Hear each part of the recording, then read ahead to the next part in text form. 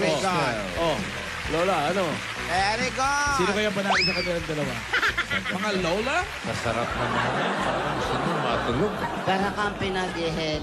Ah, Mag- Magaling to mga bata. May isang pampagising, may isang pampahel. yung isa nagising Balancing, pa. Yung balancing. isa, Yung pangalawa, pampahele. ah, Malamig sa tenga, pampahele. yung isa nangaaway. Oo, inaano ka ba? Pinatulan.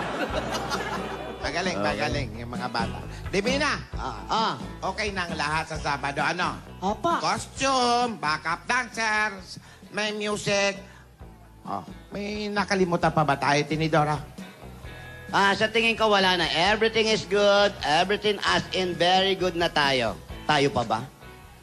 Okay na rin ba si Alden? Opo, Lola, okay Okay na din si Alden. Ah.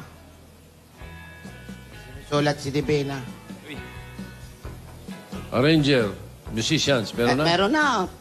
Pati utility, okay na rin. Ano? Utility? Opo.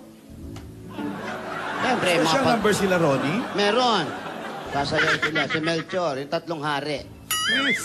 Oo. Si Melchor, si Ronnie, si Baltasar. Lola, may gusto po akong Gawin. gawin. Sana po payagan niyo akong...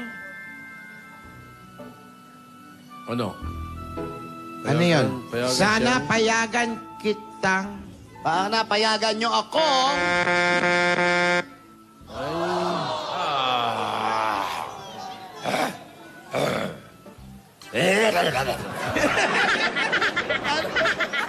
As ka boses, as ka boses mo, Victor.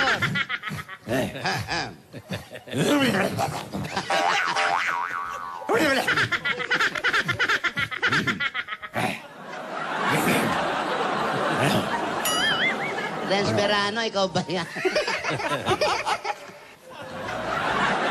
Kaya talaga pag ginagabi. Tapos na ang news, gingging, dali. Opo, mga kaibigan, nakita naman po natin kung anong inahanda ni Divina.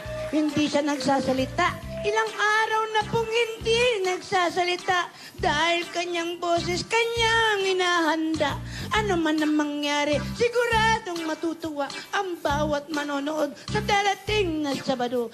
Pero mga kaibigan, Sabado. ano kaya ang gagawin? May pinagpapaalam si Divina. Payagan niyo raw ako. Hindi na alam kung ano ang gagawin. Gumaganon sila. Okay na raw po yan. Ito po si ate Gunggong yung Gunggong. Thank you, gingging. Nagong na, nagong... Oh, Lola, meron na ba tayong winner sa wild card natin? Meron na! Sino po nanalo?